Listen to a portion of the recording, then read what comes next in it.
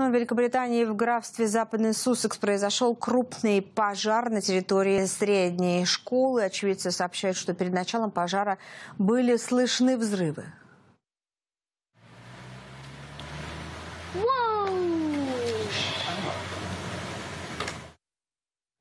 на этих кадрах с места происшествия видно, что над горящим зданием поднимаются огромные клубы черного дыма. Здание школы почти целиком охвачено огнем. Работают на месте 70 пожарных. Причину э, возгорания пока не установили, однако власти перекрыли движение близ места инцидента.